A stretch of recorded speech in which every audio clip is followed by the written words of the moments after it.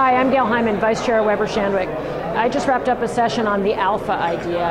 And the alpha idea uh, does a few things and does them really well. The first thing it does um, is it's inventive. It invents, it does things that have never been done before.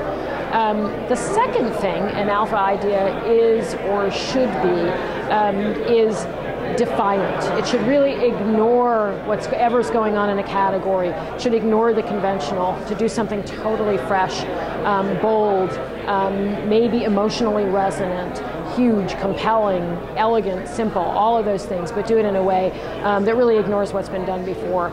And the third thing um, I think we have to do when we think about an alpha idea is recalibrate what we think an idea should be. A lot of us talk about a big idea, um, but big isn't what it was. Sometimes big is made up of a lot of small elements, really uh, what we call micro creative elements, small, compelling elements that ladder up um, to something big. And for us, um, that's what an alpha idea is.